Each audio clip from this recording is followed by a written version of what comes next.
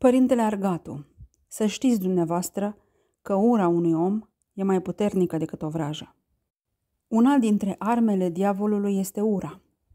Vine și bagă ură între soți și ei nu-și vorbesc, parcă sunt muți, e ca un zid între ei. Mântuitorul spune să nu apună soarele peste mânia voastră.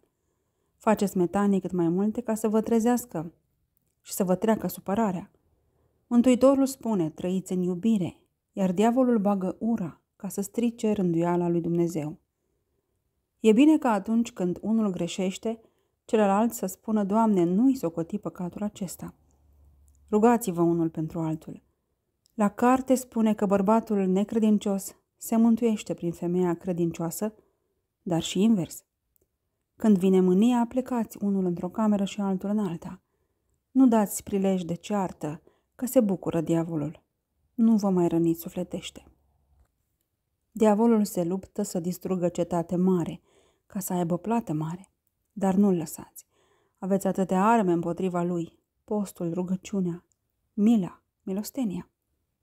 Extras din Părintele Argatu, Ioan, răspunsuri duhovnicești la întrebările credincioșilor ale Părintelui Ilarion Argatu.